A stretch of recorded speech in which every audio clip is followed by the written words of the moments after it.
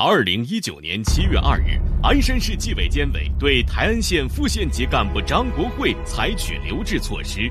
经审查调查，张国会涉嫌严重违纪违法，涉案金额一亿零八百余万元。主要是脑子里装的东西装错了，脑子里灌全是金钱、私欲、权力、利益。张国会，一九六五年出生。二零零零年，成为了台安县房产处的副处长。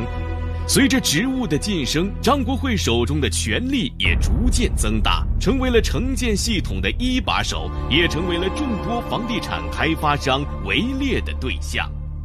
跟我在一起的，就是说酒肉朋友，是你爱听啥他说啥，你爱你喜欢啥他来啥。人要膨胀了，实质病就成了。二零零六年。张国会利用虚假转让股权的方式，将房产处下属企业转到个人名下，并暗中操控这家公司疯狂敛财。他不仅把公司名下的一块国有土地以私人的方式转卖给政府，获得了近七百万元的土地补偿，更借拆动迁之机违规获得拆迁补偿近六百万元。总寻思工业东西揣自个腰包仗，不是那个事儿。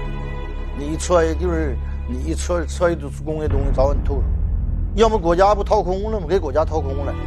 多年来，张国会积累下巨额财富，并建立起自己的官商圈子。在台安，一些商人想寻求合作伙伴或向私人借钱，都会想到张国会。二零一五年，张国辉一次性借出一千五百万，三个月后不仅收回了本金，还获利三百三十余万元。走到今天，就是权力你分怎么使，把这权力用为自己私利。你像我走到今天，就这个下场。